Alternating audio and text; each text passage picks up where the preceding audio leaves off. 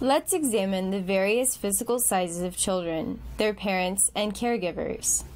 Are there children, parents, or caregivers in your center who are large or obese, petite or very thin, extremely tall or short?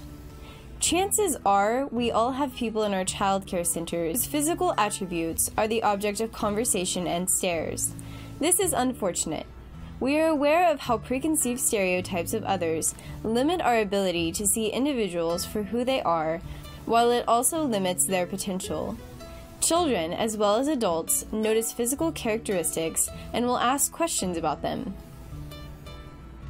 In many cases, caregivers and parents are both caught in unprepared positions when children decide to ask these questions or share remarks.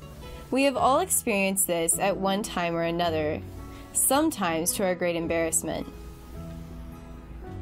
We feel uncomfortable in these situations due, due to a variety of reasons.